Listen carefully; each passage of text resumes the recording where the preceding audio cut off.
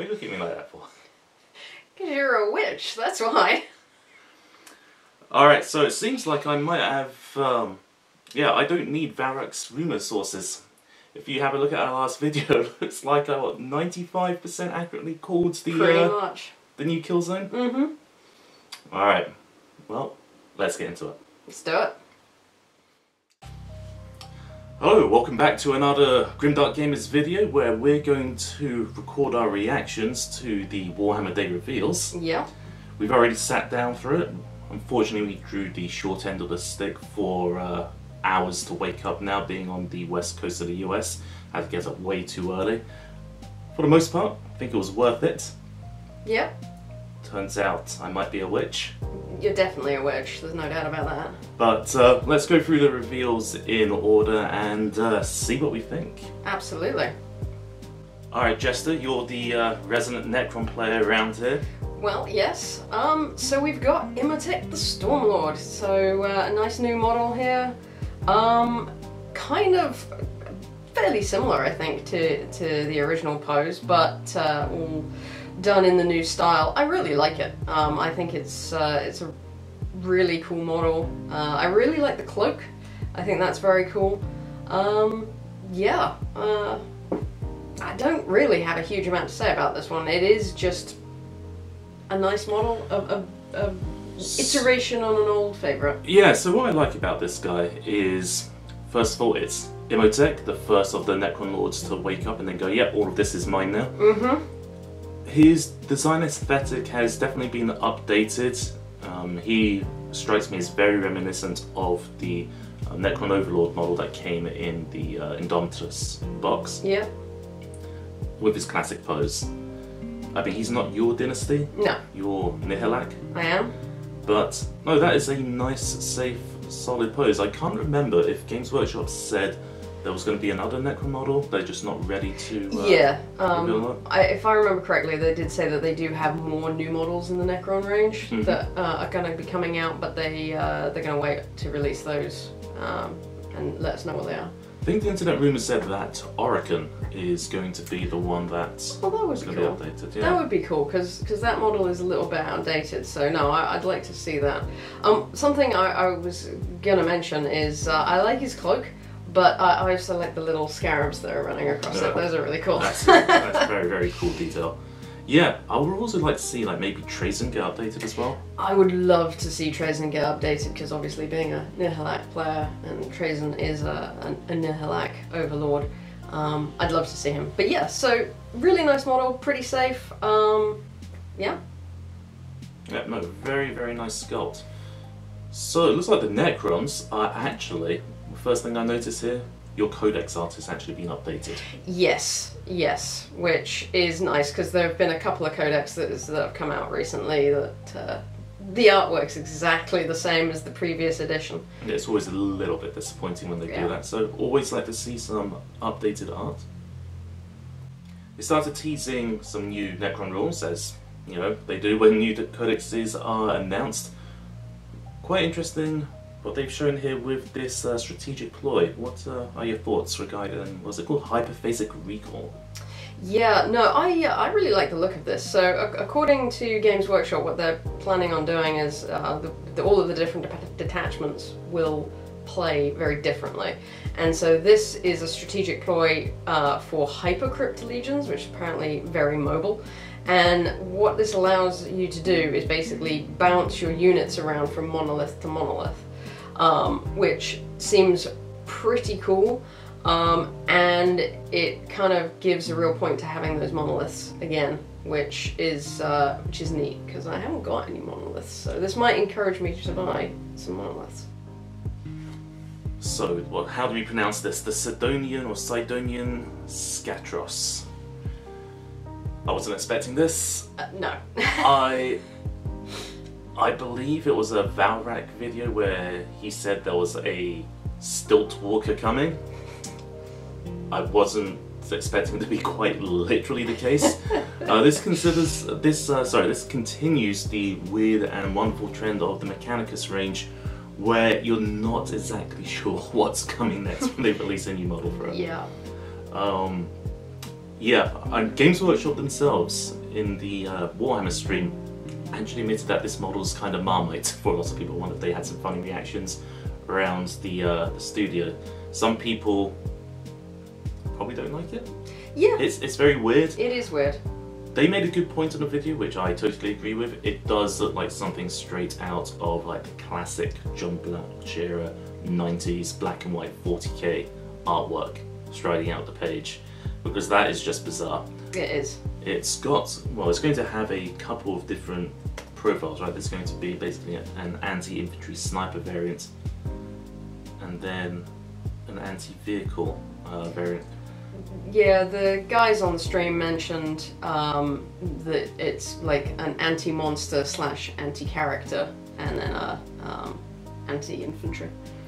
I'm very curious to see how he's going to interact with the terrain rules. Like, if do his legs are there rules for it being like telescoping legs, so you can actually have a smaller pro- profile than the model, because that's going to be pretty hard to hide um, around cover.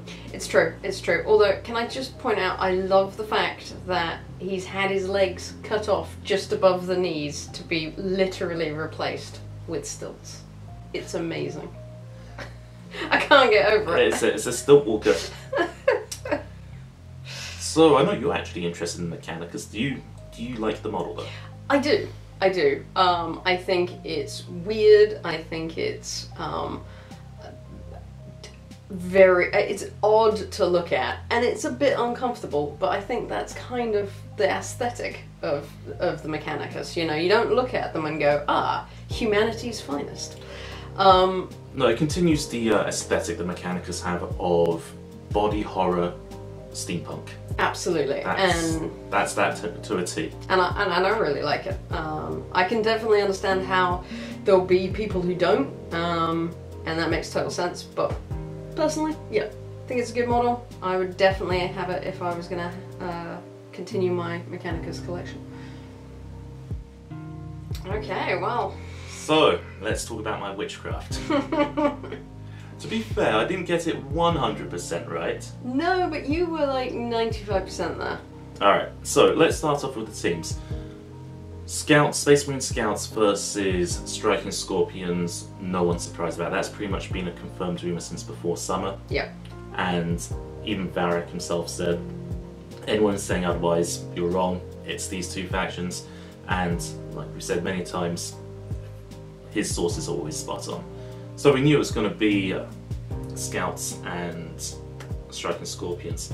So briefly talking about the Scouts, don't need to dwell on them too long.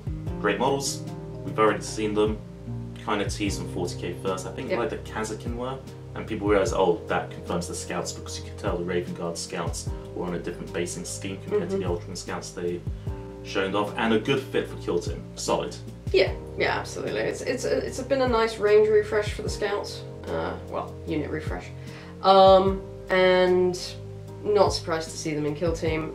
I'm kind of on the same page with you with this. They they need some really interesting rules to kind of uh, get me to want to play them. Well, definitely a But- much more appropriate team for Kill Team than say than the Novitiates were. Yes.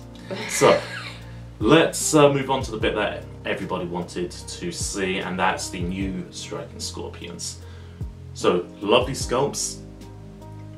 They strike me similarly to the way the new World Eaters strike me, which is a point you made. Safe, but nice. What are your thoughts on them? Yeah, um, I, I agree. They are safe. Um, they're very much. Uh, you can look at the old resin models, and they're very, very similar to that. But I'm I'm totally okay with that because you know some of these models, their look, their aesthetic is so iconic. I don't want Games Workshop to go around messing with it too much. Um, the World Eaters, the the Berserkers, the Terminators and Striking Scorpions. These are these are all units I don't want them to mess with. I don't want them to change how they look. Um, so great little refresh. Uh, I really like them, um, and I'm I'm kind of looking forward to getting some. Yeah, I mean, you are a Resident Eldar player as well. Yep. and you're gonna have no more floppy chainsaws like the Resident Fine Casket Yes. had. Yeah, that would be nice. So the thing that struck me with them, and I was initially, I only say initially, a little bit disappointed by, So when I look at that team, I was like, that's going to have the same problem as like when we're shooting battle reports with compendium teams. It's really hard to tell the models apart what you call them in, in your notes. There are no specialists, which is a point that they um, raised as well. Yeah. But they've done something else to make the team much more interesting. They have, and I, I actually quite like how they've they've approached this. So basically, you choose your exarch, um, and then you can add in other aspects. So uh, you don't have to have an entirely uh, striking scorpions kill team. You can do that totally if you want, but you can add in some dire avengers. You can add in some howling banshees. So you can you can kind of really mix and match the models that you have and create um, kind of like a, a microcosm of the Eldar craft world. That I think is very interesting. Yeah, that's excellent. I think that's a great choice. So you haven't actually just got Striking Scorpions kill team now. Craft World Eldar have their team. They've Yeah. got bespoke rules coming along, which they've needed, and now between them, Hand of the Archon, the Corsairs, and the Void Dancer troupe for the Harlequins, I think Aeldari now are. That still sounds weird to say Aeldari. Yeah. I think the Eldar are now properly covered in kill team. Yeah, they're well represented. Yeah, so good on Games Workshop. I'm glad these have come out. Get them out of the way. I want bespoke Tyranids then. yes, let's have some bespoke Tyranids. Alright, let's talk about the kill zone. Ah, yes. So in our previous video we speculated on what the different kill zones could be and I think it was fairly obvious that they were going to go back to an outdoor setting and really the only thing they could do with that is like hone it in on a very specific type of outdoor setting. Yep. Um, we speculated on a couple different types. I still think jungle is, a, is one that we might see in the future I'd love to see that, yeah. and discuss like how that could play. And then I threw out an idea which I thought, you know, would be cool, but eh, maybe a, a bit too wacky or zany. I think I called it something like Hive City Spires, but my entire premise of a possible kill zone they could do would be one where it's based on fighting off like gangways and walkways with leaps you have to make to really uh, emphasize the underused jump mechanic, is the point I mentioned, and that you could drop to your death. That's why I called it Hive City Spires, because I could see this like taking up really high up in the sky. They've actually based this now on the ocean planet that the Gallowdark crashes into, and this is like an oil rig. And when you jump, uh, when sorry, when you fall to your death with a failed jump, it's just into like water into the ocean as opposed to uh, a massive drop. But other than that, it's pretty much exactly what I had in my head. Um, so yeah, um, don't send the Inquisition Games Workshop, please. I'm not a heretic. um, okay, thoughts. Uh, I I think that it's uh, awesome that you you called this. I'm, I'm, Um, I'm a freak, freak of nature. you are, you are. Um, and other than that, honestly, I think it's interesting. But I personally, I look at this and I kind of go, eh, it doesn't, it doesn't. I'm not blown away by it. It doesn't make me want to go. Absolutely, I need to play Kill Team on this terrain. It doesn't draw me the same way as say when they revealed the uh, 3D space tiles of Yeah. Into the Dark. That was basically like a dream come true, um, as far as I'm concerned, hobby-wise. With this, it's variations of what we've seen. Um, like we've got the smokestack thing that they, it's not a smokestack, but like the refinery um, silo there, and various gangways. I do like the texture of the floor. I love the fact. I mean, I've always, ever since I played Metal Gear Solid 2, and getting into sci-fi horror, I've always enjoyed like the derelict oil rig uh, theme at sea. hmm I'm gonna have to wait on the narrative rules on this one to decide if I want to play it because that looks fairly easily represented by um, other stuff we've already got. Yeah. So it's the rules which are going to determine whether or not I ultimately want to play on this kill zone. And to give uh, Games Workshop their credit, they recognise this. They said at this point they know pretty much most people in the kill team community have more than enough terrain. Yeah. So they've actually changed the way they're releasing uh, boxes in this season. Looks like the teams are going to be separate from the terrain. Mm-hmm. So we're going to have the season three starter box, right? And this like it's got both the teams and then some additional obstacles like that that will fit this terrain. But the actual vast majority that we see here with the board and the gangways and the silo, that's going to be available as a separate terrain box set, which I think is pretty smart. Um, a smart move by Games Workshop. So the terrain's available for those that need more, but for those of us who have enough, I think Yeah. we're not going to be burdened by having even more plastic that we don't plan to paint it. And I think if you if you um, if you look at the the picture that they've put together here, what they're intending is for you to have more than one level of those gantries. Uh, they've actually got them stacked kind of on top of each other so that you can have Yes. two or three levels. Um, and I definitely think that will make it more interesting because you will have those different levels of gantries. Get some Necromunda um, style gameplay. Actually, this is very 90s Necromunda. It is, it is. Um, but to that point, I think you will need at least two sets of this in order to be able to really. Looking at the amount of terrain that you get here, I think you'll need at least two sets of that to be able to build those kind of boards. You know, describing it as 90s Necromunda, and the fact I really do like oil rigs as a setting. I think I might have just talked myself into it. I was going to say, are we are we seeing the uh, change of opinion live on the camera right now? Think of an Imperium Maledictum uh, session where there's like a Chaos Cult on an oil rig and they're doing a ritual and it's a dark, stormy sky and you're going in there as a kill team on your Valkyrie and you have to land it and like stop the ritual. and just like that, dear audience, Gregor has talked himself into the terrain. Ah, such a sucker for this stuff. Sometimes I disgust myself.